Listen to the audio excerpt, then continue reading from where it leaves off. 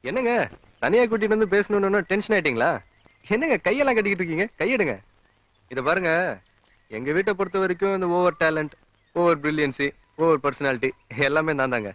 எனக்கு இன்னும் extra qualifications நிறைய இருக்குங்க. யூனோ வாட் இஸ் குவாலிஃபிகேஷன் தமிழ்ல அது தகுதின்ட்டாங்க சொல்லுவாங்க. பரவாயில்ல தெரிஞ்சு வச்சிருக்கீங்க. இப்போங்க எனக்கு இவ்வளவு குவாலிஃபிகேஷன்ஸ் இருக்கு. எனக்கு வரப்போற வைஃப் வந்து ஏன் ஈக்குவல் ரேஞ்சில் இல்லைனா கூட அட்லீஸ்ட் ஒரு தேர்ட்டி ஃபார்ட்டி பர்சன்டேஜ்ல இருந்தா லைஃப் நல்லா என்ஜாய் பண்ணலாம் பாருங்க. என்ன சொல்றீங்க? ஆமாங்க. அதுக்கு தான் இப்போ நான் உங்களை சின்ன டெஸ்ட் பண்ண போறேங்க. நான் ஒரு ரெண்டு மூணு கேள்வி கேட்பேங்க. அதுக்கு நீங்க எப்படி பதில் சொல்றீங்கன்றத வச்சு நான் மார்க் போட்டுக்கிறேங்க. எனக்கு கேட்டுங்களா சரி கேளுங்க. முத கேள்விங்க. கல்யாணத்துல தாலி கட்டும் போது மூணு முடிச்சு போடுறாங்க அது உங்களுக்கு தெரியும். அது ஏங்க? ரெண்டு முடிச்சு போடலாம்ல? இல்லைன்னா நாலு முடிச்சு போடலாம்ல? பர்டிகுலரா எதுக்கு மூணு முடிச்சு போடுறாங்க? வாட் இஸ் த ரீசன் நல்ல நிதானமா யோசிச்சு சொல்லுங்க ஒன்றும் அவசரம் இல்ல. இதுல யோசிக்கிறதுக்கு என்னங்க இருக்கு? ஒரு பொண்ணு பிறந்த வீட்டு சொந்தம் மறந்துடக்கூடாதுன்னு முத முடிச்சு புகுந்த வீட்டு சொந்தம் மறந்துடக்கூடாதுன்னு ரெண்டாவது முடிச்சு புதுசா வரப்போற சொந்தத்தை மனசுல வச்சுக்கிறதுக்கு மூணாவது முடிச்சு. அதுக்கு தாங்க மூணு முடிச்சு போடுறாங்க. இந்த மூணு உறவும் ஒரு பொண்ணுக்கு ரொம்ப ரொம்ப முக்கியங்க. உங்களுக்கு தாலியை பத்தி தெரியாத இன்னொரு விஷயம் நான் சொல்றேன். அது ஏன் தெரியுங்களா? தாலியை நெஞ்சுக்கு நேரா கட்டுறாங்க? அந்த மூணு உறவும் ஒரு பொண்ணோட நெஞ்சுக்குள்ளேயே இருக்கணுங்கிறதுக்காக தாங்க இதெல்லாம் யார் சொன்னா உங்களுக்கு? என் பாட்டி தாங்க சொல்லி கொடுத்தாங்க. சரி கொஸ்டின் கொஞ்சம் ஈஸியா போச்சு. சொல்லிட்டீங்க. வேற ஒரு கொஸ்டின் கேக்குறேன். அம்மி மிதிச்சு அருந்ததி பாக்குறதுன்னு சொல்றாங்கல்ல? அம்மிங்கிறது தெரியும் அது ரொம்ப யூஸ்வலான விஷயம். அருந்ததி பாக்குறதுன்னு சொல்றாங்களே அது என்ன? எனக்கு தெரியுது ரொம்ப ரிஸ்கான கேள்வின்னு. நல்ல டைம் எடுத்து சொல்லுங்க. இது ரொம்ப ஈஸிங்க அருந்ததின்னு ஒரு கற்பகரிசி. நட்சத்திரமா இருக்காங்க. புதுசா கல்யாணம் பண்ணிக்கிட்டவங்க அவங்களை கும்பிட்டு வாழ்க்கை தொடங்கினா குடும்பத்துக்கு நல்லதுன்னு பெரியவங்க சொல்லுவாங்க. அதுவே சயின்ஸ் பிரகாரம் பாத்தீங்கன்னா அருந்ததி ரெண்டு நட்சத்திரங்க. ஆனா கண்ணால பார்த்தா ஒண்ணுதான் தெரியும். அதே மாதிரி புருஷன் பொண்டாட்டி ரெண்டு பேரா இருந்தாலும் மனசுக்குள்ள ஒன்னாதான் இருக்கணும். அதுக்கு தாங்க அருந்ததி நட்சத்திரம் பார்க்கணும்னு சொல்லுவாங்க. இந்த மாதிரி பெரிய பெரிய கதையெல்லாம் யாருங்க உங்களுக்கு சொல்லி கொடுத்தா? அதே பாட்டு தாங்க சின்ன வயசுல இந்த கதையை சொல்லி கொடுத்தாங்க. என்னங்க பாட்டி இது? பாட்டிக்கு நான் கிராமரை மீறிட்டு இருக்காங்க. பாட்டினா ஒரு வடை சுட்ட கதை வடை திருட்டின கதை. அப்படியானு சொல்லி கொடுக்கணும். எங்க பாட்டிலாம் எனக்கு அப்படிதான் சொல்லி கொடுத்துருக்காங்க. தேவையில்லாத கதையை சொல்லி உங்க பாட்டி என் லைஃபோட விளையாடுது. என்னங்க? நான் ஒரு சின்ன கேள்வி கேட்கட்டுமா? என்னையா? நான் தான் அப்பவே சொன்னல நான் ஓவர் பிரில்லியன்ட் என்னென்ன கேள்வி கேட்க போறீங்க? இல்ல ஒரே ஒரு சின்ன கேள்வி. சரி ரொம்ப பெரிய பண்றீங்க கேளுங்க. அம்மா பையங்க மேல காட்டுற அன்புக்கும் பொண்டாட்டி புருஷன் மேல காட்டுற அன்புக்கும் என்னங்க வித்தியாசம்? வெரி சாரிங்க சின்ன வயசுல எங்க அம்மா இறந்து போயிட்டாங்க. எங்க அப்பனோட இம்சையிலே வாழ்ந்ததுனால எங்க அம்மாவோட அன்பனை என்னன்னே தெரியாம வளர்ந்துட்டேன். அப்புறம் வைஃப்ன்றது இப்பதான் என் லைஃப்ல என்ட்ரி ஆகுறாங்க. ஸோ அதை பத்தி எனக்கு என்னன்னு தெரியல. ஸோ ப்ராக்டிக்கலா உங்க கேள்விகளுக்கு பதில் சொல்ல முடியாம போனதுக்கு திஸ் த ரீசன் ஏங்க இந்த கொய்யா மரம் ரொம்ப நல்லா இருக்குல்ல? அது நீங்க உங்க ஊர்ல மட்டும் டிஃப்ரெண்டா இருக்கு? என்னங்க இந்த மரம் என்னோட ஃப்ரெண்டுங்க பாத்தீங்களா? ஏதோ ஒரு கேள்விக்கு பதில் சொல்லிட்டீங்கன்றதுக்காக நம்ம காதுல பூ சுத்த ஆரம்பிச்சிட்டீங்களே. ஐயோ நீங்க நம்பலையா? எப்படி எப்படிங்க ஒரு மனுஷன் நம்புவான் சரி பழம் பறிக்கணும்னா நீங்க என்ன பண்ணுவீங்க? என்ன மரத்துல இருந்தா எல்லா பழத்தையும் பறிச்சு போட்டுற வேண்டியதுதான் ஏறி பறிக்கணுங்களா? நீ ஏறி தானே பறிக்கணும். எனக்கு அதுவே கொடுக்கும். பாக்குறீங்களா.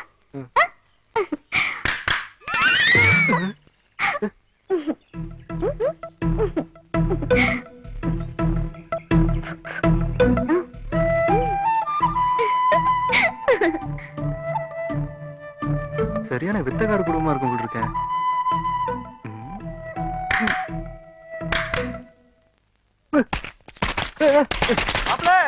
போதுங்களா? போதும் போதும்.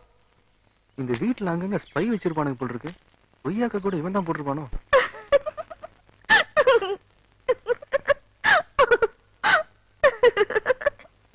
என்னடி இது? மாப்பிள தனியா கூட்டி போய் அப்படி என்ன சொன்னாரு? இப்படி சிரிக்கிற? பாட்டி அவங்க என்ன தனியா கூட்டிட்டு போய் நிறைய கேள்வி கேட்டு டெஸ்ட் வச்சாங்க. நான் எல்லாத்துலயும் பாஸ் பண்ணிட்டேன். அப்படி என்னடி கேட்டாரு? என்கிட்ட சொல்றே. அது வந்து பாட்டி அது எங்களோட பர்சனல் நான் யாருக்கிட்டயும் சொல்ல மாட்டேனே. பொண்ணுதான் பிடிக்கலன்னு ஆகி போச்சுல. அப்புறம் இங்க என்ன வேலை? எங்க அப்பனுக்கு புத்தி இல்ல உங்களுக்கும் புத்தி இல்ல. வாங்க போலாம். என்ன மாப்பிள புரியாம பேசுற? நினைச்ச உடனே கிளம்புறதுக்கு இந்த ஊர்ல பஸ்ஸா இருக்கு. லான்ச் ஆறு மணிக்கு தான் கிளம்புமா? அது வரைக்கும் நம்ம இங்க இருந்தே தான் தீரணும் வேற வழி இல்ல.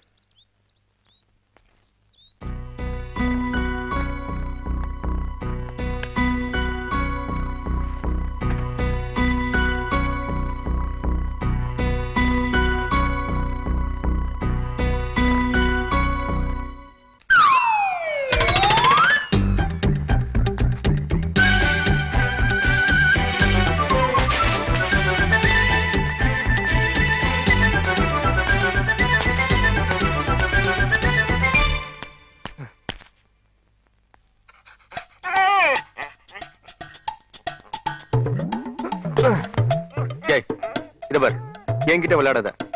நீ இந்த ராஜபாளையம் டவர்மெண்ட் எல்லாம் பாத்திருக்கியா நீ? பிக் சைஸ் அதுங்களே என்கிட்ட விளையாடாது. நீ ஆஃப்டர் ஆல் உப்பி போன மொசு குட்டி மாதிரி இருந்துகிட்டு என்கிட்ட விளையாட்டியா?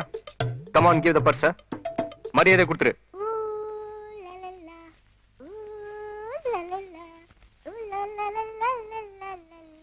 இத பாரு நான் பாக்குறதுக்கு ஆள் சாஃப்டா இருப்பேன் ஆனா ரொம்ப வில்லங்கமான ஆளு விவகாரம் பண்ணி வச்சிடாத. நான் லுக் விடுறேன் அந்த இடத்துல டீசென்ட் ஆகணும்னு பாக்குறேன் டென்ஷன் பண்ணிடாது நம்மள.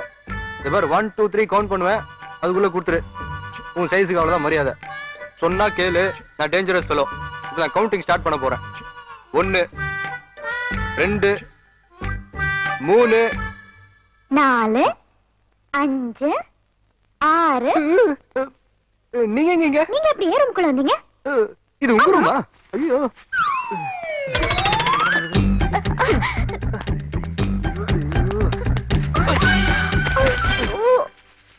என்னங்க வேணும் வேணும் என் மேல வந்து இடிக்கிறீங்க? நீங்க தான் வேணும்னு வேணும்னு ஏன் பெட்ரூம்க்கு வந்திருக்கீங்க?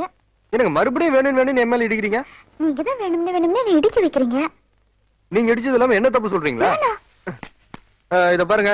நான் ஒண்ணும் உங்க பெட்ரூம்க்கு வேணும்னு வரல. வளர்க்குறீங்களே ஒரு ஃப்ராடு நாய். அது என் பர்ஸ் தூக்கிட்டு வந்துருச்சு. அதுக்கு தான் வந்தேன். ஐயோ, இன்னும் முகூர்த்தத்துக்கே தேதி குறிக்கல. அதுக்குள்ள ரெண்டு பேரும் பெட்ரூமுக்குள்ள வந்து ஏன் அவசரப்படுறீங்க? என்ன என்ன என்ன? என்ன பெட்ரூம்ல? ஓவர் இமேஜினேஷன் இந்த வயசுல ஒண்ணும் நடக்கல. உங்க வீட்டு நாய் வந்து பர்ஸ் தூக்கிட்டு வந்துருச்சு. அதுதான் துரத்திக்கிட்டு வந்தேன். நான் வேற யாரையும் துரத்துல அஹ், தொடல.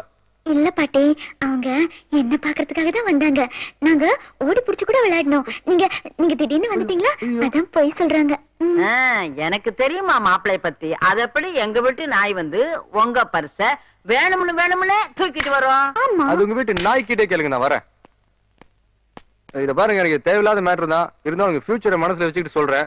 This old lady very very dangerous lady ரிலேஷன்ஷிப்பை கட் பண்ணுங்க. ஏன் ஏன் ஏன் ரிலேஷன்ஷிப்ப கட் பண்ணணும்? புருஷன் பொண்டாட்டி ரெண்டு பேரும் ஓடி பிடிச்சு விளையாடும் போது நான் குறுக்க வந்து டிஸ்டர்பன்ஸ் பண்ணிருவேன்னா? முதல்ல இந்த ஆட்டத்தை நிப்பாட்டுங்க. இங்க யார் புருஷன் யார் பொண்டாட்டியா நான் இந்த விளையாட்டுக்கு வரலையோ? சாவித்திரி உன்னையே சுத்தி சுத்தி வர்ற மாதிரி உனக்கு நல்ல மாப்பிள்ளை கிடைச்சிருக்காரு. நீ ரொம்ப கொடுத்து வச்சவ.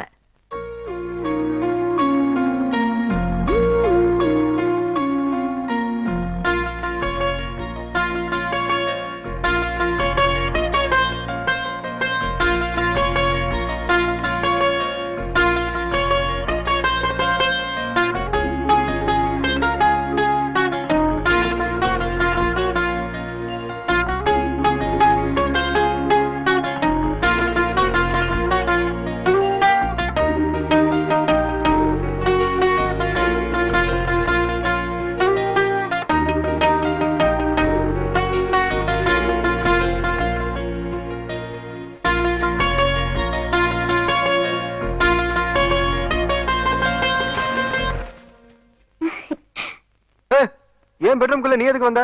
இதுவும் ஏன் பெட்ரூம் தாங்க? நீங்க தான் இங்க தங்கி இருக்கீங்க அதை சொல்லிட்டு போலான்னு வந்தீங்களாக்கு? சாச்சா நீங்க தப்பா புரிஞ்சுக்கிட்டீங்க. உங்களுக்கு ஒண்ணு கொடுத்துட்டு போலான்னு வந்தேன். இத பாருங்க. இந்த கொடுக்கல் வாங்கல் மேட்டர்லாம் இங்க வேணாம். நீங்க கிளம்புங்க. கையை மட்டும் நீட்டுங்க. கொடுத்துட்டு போயிடுறேன்.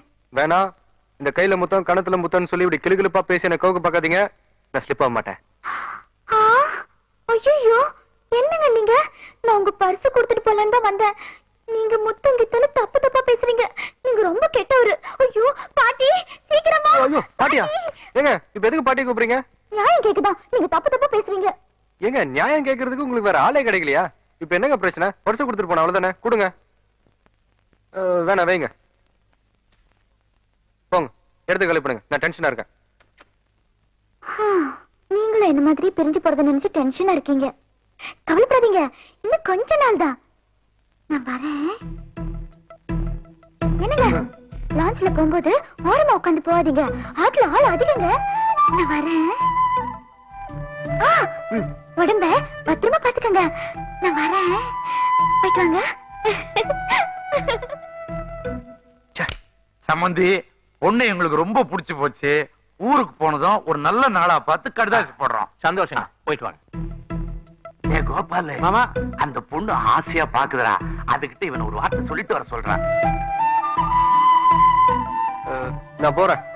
ஐயோ போகும்போது போறேன்னு சொல்லக்கூடாதுங்க. சரி வரேன் ஆ, அப்படியே சொல்லக்கூடாது. வேற எப்படி சொல்லணுன்ற? போயிட்டு வரேன்னு சேர்த்து சொல்லணும். போயிட்டு ஆ, நான் சொன்னதெல்லாம் ஞாபகம் இருக்குல்ல? அது என்னது லான்ச் லான்ச். ஆ, இருக்கு இருக்கு. லான்ச்ல ஓரமா உட்காராதீங்க